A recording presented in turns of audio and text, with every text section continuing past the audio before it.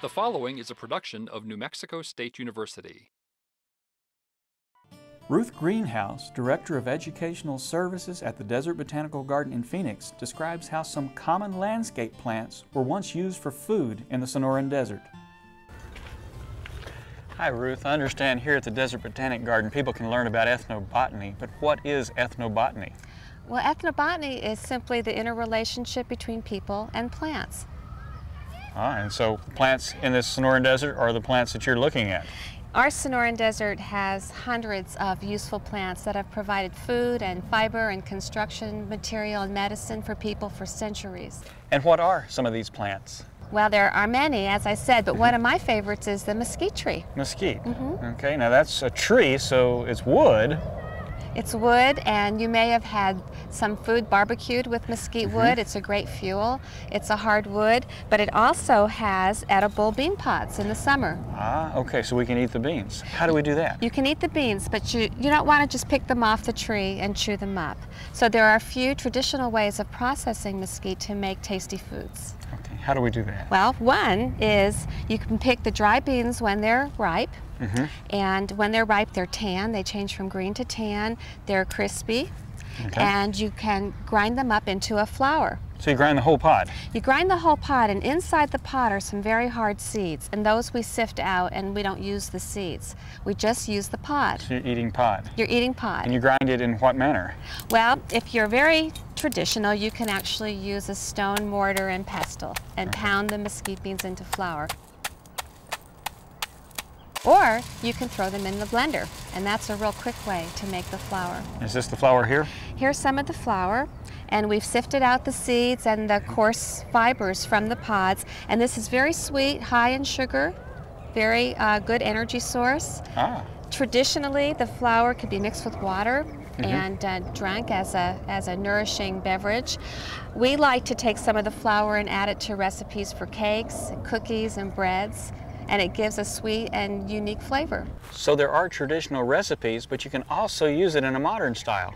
Yes. And there are books that tell us how to do that. There are books that tell you how to do it, and when you have a mesquite tree in your own yard, and they're great shade trees, yes. you can pick the beans in the late summer, and you can save them and use them for food. So mesquite's a good landscape tree, it's water conservative, and now we can eat. That's right. Also attracts wildlife because it provides the shade and shelter that birds like. Good plant for the landscape. But there are other landscape plants that are common in the Southwest that are also traditional foods. Many, that's right. The prickly pear, or Opuntia, is a very common plant growing in the desert in the Southwest, but it's also used in some landscapes. So this is the prickly pear, and we can eat it. Yes, there's actually two parts of the prickly pear you can eat. The juicy red fruits in the summer, and not all species have edible fruits, but many do, and the new young pads that come out in the springtime. But they look like they would hurt. They would hurt if you don't know how to remove the spines and the glochids first. Very painful. How, can you show us how to remove the spines and glochids? Sure.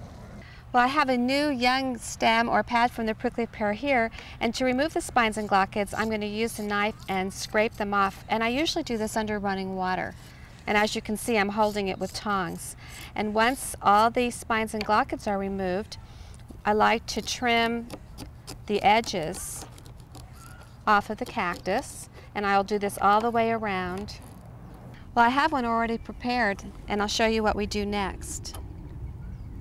Well, after trimming the edge, I like to cut off the joint end because that's tough. And now this is ready for slicing. This is an old technique. This is an old technique, um, and it can also be diced. And there are many different recipes to use the prickly pear stems in. So this is something that anyone can do with a prickly pear if they're careful. Yes, and we recommend that people collect plants from their own yard and uh, are absolutely certain the name of the plant or the species that they're collecting so that it's safe. They've done this for thousands of years. Is it still something you can purchase in a store though? Prickly pear is a great example of a plant that's an ancient, ancient food. It's been used for thousands of years. It's still used today. You can even buy it bottled in the grocery stores. That's some right there. Yes, would you like to taste one? curious, I've never tasted it before. I didn't expect this. It's good. And what's this? Well, that is syrup made from a different part of the prickly pear from the fruit.